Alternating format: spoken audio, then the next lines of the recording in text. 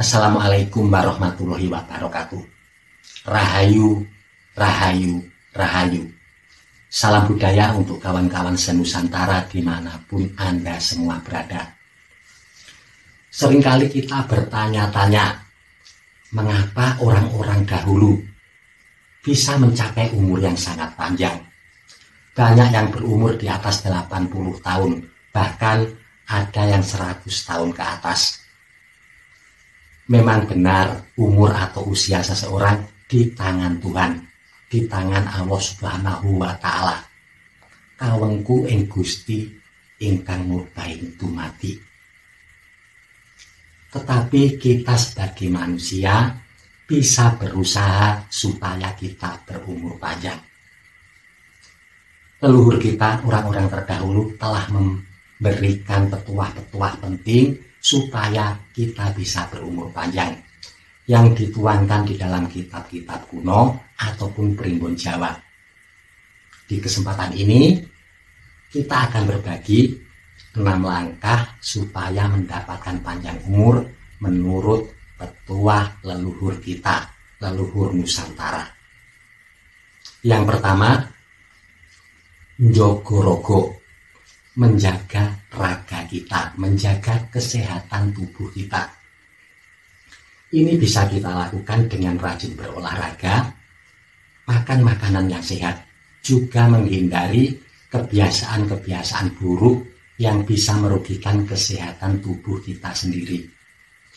Orang-orang terdahulu rajin berolahraga ini mereka ganti dengan kehidupan alami mereka dengan bekerja keras yang petani yang mencangkul, yang nelayan yang menangkap ikan. Sedangkan untuk menjaga makanan yang sehat, mereka pada dasarnya makanannya sudah sehat. Tidak memakan makanan yang aneh-aneh seperti sekarang. Yang tentunya kalah sehat dibandingkan dengan makanan-makanan yang alami. Orang-orang terdahulu juga tidak memiliki kebiasaan-kebiasaan buruk yang dilakukan oleh kita orang-orang zaman sekarang. Seperti ada yang suka dengan narkoba, minum minuman beralkohol, dugem, duduk terlalu lama di depan komputer, dan yang lain sebagainya.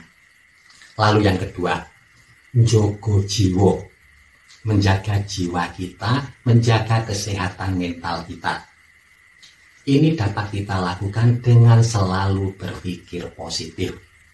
Orang yang berpikir positif akan mampu mengatasi segala persoalan dengan optimis. Menjaga mental ini juga dapat kita lakukan dengan tidak membiarkan diri kita terjebak di dalam rasa marah yang berlebihan, iri, dengki, ataupun rasa cemas dan khawatir yang berlebihan ini selaras dengan ilmu pengetahuan modern. Orang-orang yang dipengaruhi rasa marah akan mudah terserang penyakit darah tinggi ataupun stroke. Begitu pula mereka yang dicekam rasa takut dan khawatir yang berlebihan akan mudah terserang penyakit yang berhubungan dengan pencernaan.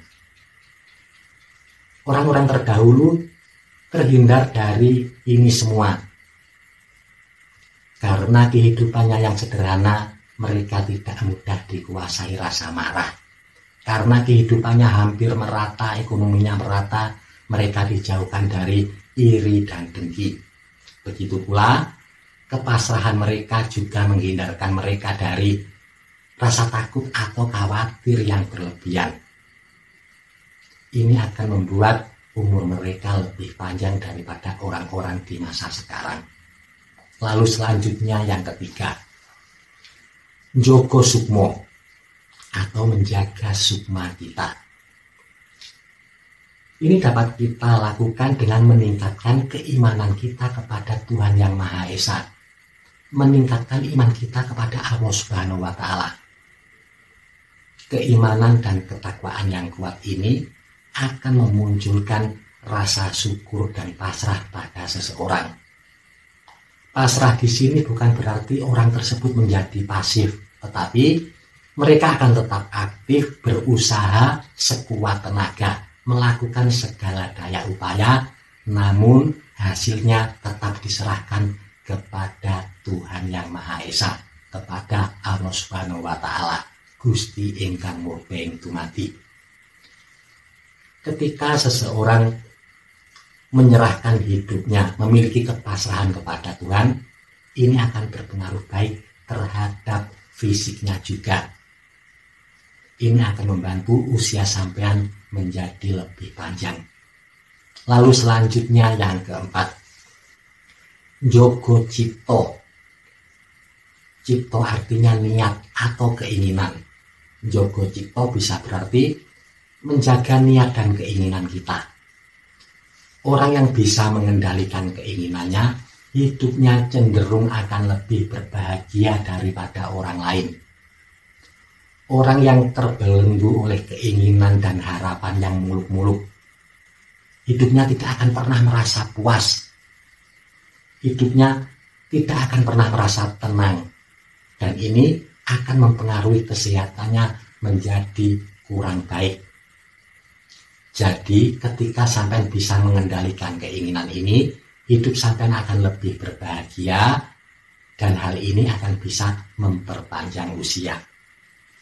Orang-orang terdahulu pada dasarnya tidak memiliki banyak keinginan karena hidupnya di dalam kesederhanaan.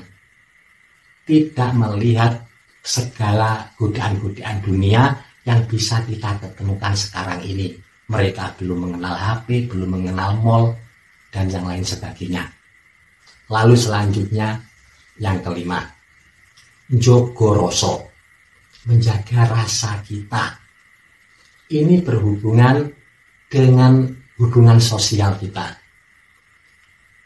kita harus bisa menjaga hubungan baik dengan keluarga, dengan teman, ataupun dengan lingkungan di sekitar kita dengan para tetangga. Hubungan yang baik dengan orang-orang di sekitar kita akan menimbulkan ketentraman di dalam batin kita. Orang-orang terdahulu memberikan petuah ojo jiwit yang ora gelem dijiwit Jangan menyakiti orang lain kalau tidak ingin disakiti.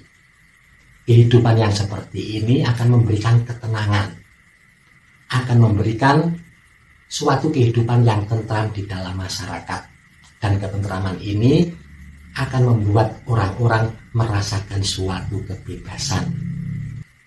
Dan orang-orang terdahulu bisa mengaplikasikan ini lebih baik daripada orang-orang di masa sekarang yang cenderung lebih egois, lebih memen, lebih mementingkan dirinya sendiri ataupun kelompoknya, kurang bergotong royong di dalam bermasyarakat dan bersosial. Lalu selanjutnya yang keenam, Jogo Karso. Karso artinya semangat. Di sini kita diminta untuk selalu menjaga semangat. Bukan hanya semangat hidup, tetapi menjaga semangat untuk melaksanakan lima hal yang sudah kita bahas tadi. Menjaga semangat untuk jogorogo, menjaga kesehatan kita. Menjaga semangat untuk jogo jiwo, menjaga kesehatan jiwa kita, mental kita. Menjaga spiritualitas kita, menjaga keinginan kita, dan juga menjaga hubungan sosial kita. Jika kita tetap bisa bersemangat menjaga hidup untuk bertahan hidup dan menjaga kelima hal ini tadi, maka insya Allah umur kita akan lebih panjang. Semoga petuah-petuah ini bermanfaat untuk kita semua. Mohon maaf kalau ada salah kata ataupun kalimat. Terima kasih. Wassalamualaikum warahmatullahi wabarakatuh. Rahayu, rahayu, rahayu. Salam budaya untuk kawan-kawan senusantara di mana pun Anda semua berada.